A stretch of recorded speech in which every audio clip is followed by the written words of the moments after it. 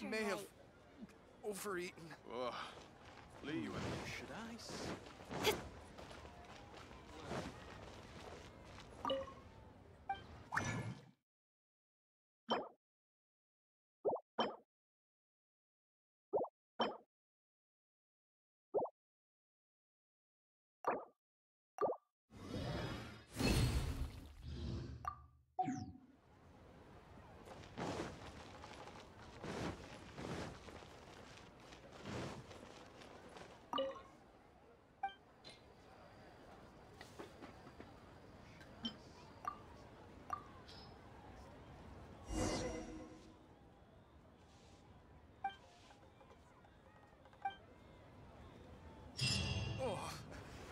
think I may have.